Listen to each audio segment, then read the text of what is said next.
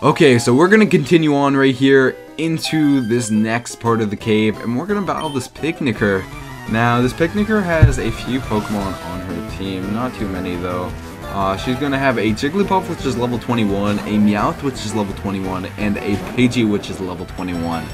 So hopefully our Roshi will be able to take out this Jigglypuff with a Water Pulse right here. I don't know for sure though. I think Jigglypuff might live one, two, or maybe even three at that.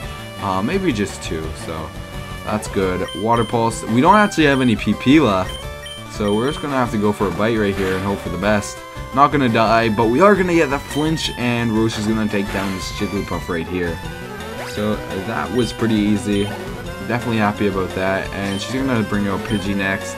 I'm actually going to switch out here into Robin just because our Roshi ran out of PP, and Water Pulse is really the only move that's going to be doing a lot of damage. Bite, I don't think we'll take out the Pidgey in, like, I think he'll take it out in three or two shots or so, but not in one shot, so...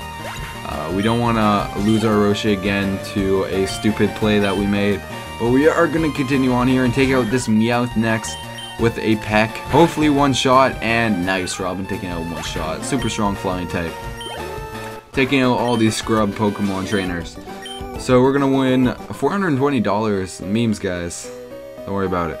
And we're gonna come down here and talk to this man. I thought this was actually a trainer. It looks like he's not, but he will teach a Pokemon Rock Slide, which I'm gonna do actually. So if you guys want to come and go ahead and do this, definitely teach your Pokemon Rock Slide. I actually forgot about this, to be honest. I had no idea he taught you Rock Slide. I was actually thinking he was a trainer. Uh, I haven't played Leaf Green Fire Red for a while, so I'm just uh, going off this tunnel by memory. I definitely know my way through here, though, so if you guys were following me through the cave, I do know where I'm going, so don't worry about that whatsoever. So we're going to come up here now, and there's actually an item that you can pick up, which is a Max, Max Ether, which is nice. And we're going to fight this hiker next. So I'm actually super happy that we got Rock Slide on our Pokemon right there.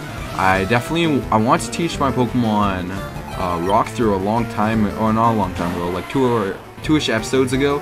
But I was actually saving it for another Pokemon that we're gonna get later on in the game. But we're gonna fight this Geodude right here, and we don't have any water pulses left, so we're just gonna have to go for bites here and there. That was a critical hit, so it looks like we might actually have to uh, go ahead and not use our Pokemon, our uh, Roshi right here because he will die from some rock slides. I'm going to switch into our light bulb right here and we should be able to beat this hiker right here. Uh, this hiker, I actually don't know what he has. I think he has a level 21 Geodude and a level 21 Graveler with a maybe another level 1 21 Geodude. I didn't see his Pokemon 100% before, so uh, we'll see how much Pokemon he actually has on his team. But we are going to go up to level 33, which is nice. Uh, Lightbulb definitely climbing those levels, and it looks like, okay, you have three Pokemon on this team. So, what I said before, two Geodudes with level 21, and then a Graveler uh, that is level 21 at the end of the battle.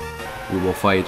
So, Geodude's going to go down from another, from a uh, Whip right there, and Graveler's going to come out now. Graveler, not the best Pokemon for special defense.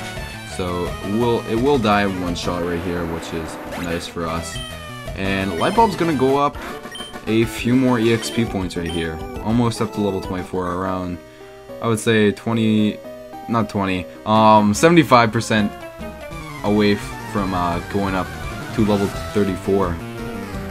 So, we're gonna fight this Pokemaniac right here, and this Pokemaniac actually is pretty easy for Roshi to take out. I don't know if we can live any attacks from this thing, so hopefully, I don't think he'll die in one bite, but we'll see. Yeah, he's gonna live two bites. Hopefully he doesn't go for it. Nice, okay. So he didn't go for a confusion there, which is good, but I think since we got growled, he is gonna die from that bite. Nice. I think bite actually might be a special attacking move in this game. I don't know for sure though. I know in the later games, um, Bite is a physical move as well as Crunch, so that's nice to run on your physical Pokemon. But Slowpoke right here is going to go for another Growl, lower our attack stat, and Roshi going to take out this next Slowbro. And, oh not Slowbro, Slowpoke. I don't know why I call him Slowbro. He doesn't even look remotely close to Slowbro. His face does, but Slowbro doesn't walk on four feet. Neither does he uh, have a tail sticking out there. He has a uh, like a Shellder or something on his tail, something like that. Uh, the way Slowpokes actually evolve in the anime if a Shellder bites onto its tail, a Slowpoke's tail, he will evolve into a Slowbro, which is kind of weird. You'd think he would level up by levels, but no, Pokemon is weird like that. The anime is weird and doesn't want to do that. But next up, we're going to have a few Picnickers, which I actually don't want to use our Roshi anymore, because Roshi is almost dead, and we don't want to deal with that dunu, dunu, dunu beeping noise. Kind of gets annoying after a while, so uh, I'm going to bring out Light Bulb right here, and Light Bulb should be able to take out this Bellsprout, Clefairy, and other Pokemon that are next up in these battles. Actually, I don't know if he'll be able to take out this Bellsprout in a few shots. Yeah, looks like we only have Vine Whip and Razor Leaf. Hopefully, not to do that much damage, though. And we're to get Stun Spore, Bellsprout, Oddishes, all these Pokemon that can paralyze our Pokemon are super annoying. So I'm gonna bring on my Robin now. I don't see the computer AI going for another stun, stun spore right here, so we don't have to worry about switching into more paralyzing. But we're gonna go for a peck right here and take out this Bellsprout in one shot. Because, you know Robin, he, loves picking on those bug types and grass types, that's for sure. So Clefairy is going to come out next, and we should be able to uh, take this thing out in one shot with a Aerial Ace. I don't see it living. Maybe with a few HP. No, it's not. Clefairy is going to go down, and we defeated the Picnicker, which is nice. So, this next battle, um, our Light Bulb definitely can take out uh, the, these next few Pokemon, except for the Bellsprout on the team. That might take a while, but since we are paralyzed, I'm going to have to switch out now. I definitely wasn't expecting to get paralyzed by that Bellsprout there, so...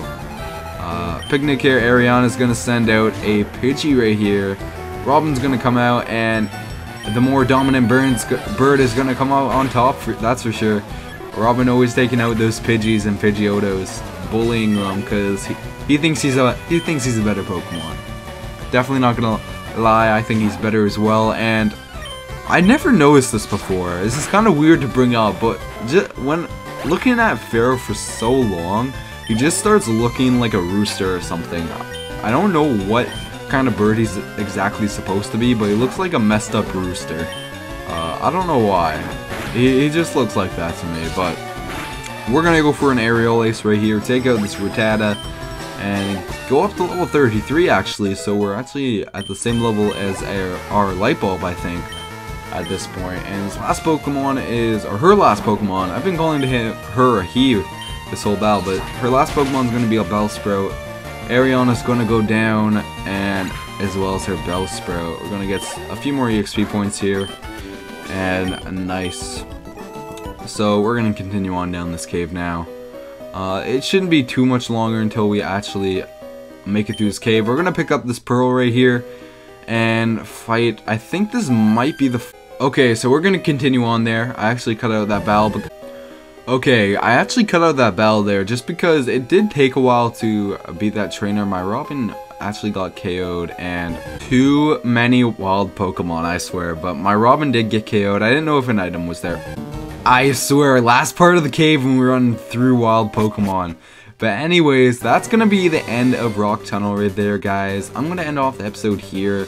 Uh, if you did enjoy, I'd really appreciate if you gave uh, some criticism in the comment section down below, just so I can improve this ep these episodes, I could become a better YouTuber, and entertain you guys more, make you guys happier. Uh, so anyways, if you guys like this video, shoot that like button with Kamehameha.